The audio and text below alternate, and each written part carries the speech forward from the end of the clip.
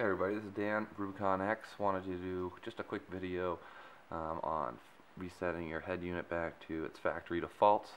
Run into a couple instances where my music will no longer stream from my computer to my unit. Um, the only way to solve that is by resetting it, which is kind of a pain because you have to run through all the MCACC configurations, set everything all up again, and do all that fun stuff. So I wish they'd fix or figure out what is going on. Um, but you know, for right now, we have to revert to holding down the enter button, pushing and holding the power key. This I must have hit the wrong button. DC, the reset. Yes. Reset. And I hit enter. And I hit OK, as you're to see, OK. Okay.